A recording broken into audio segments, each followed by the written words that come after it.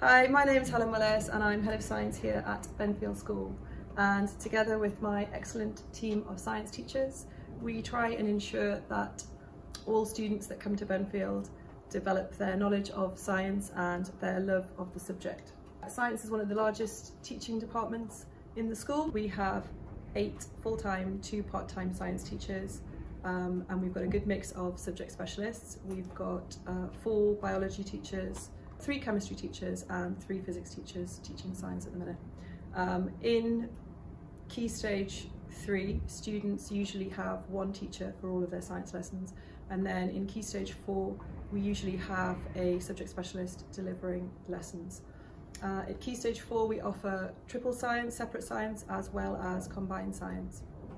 Um, we've also got a superb science technician who prepares all the practical work that the kids love doing and um, a classroom support assistant dedicated to science. So one of our aims is to try and harness the natural curiosity about the world that students bring with them when they join us in year 7 right the way through to year 13 should they go on and study A-levels.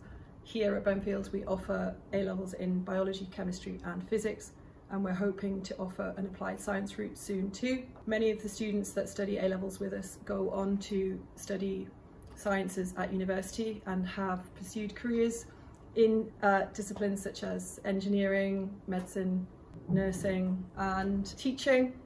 The science department have um, between us all over 80 years of teaching experience so if you choose to send your son or daughter to uh, Benfield you can be confident that they are going to receive expert teaching and that they'll be in safe hands.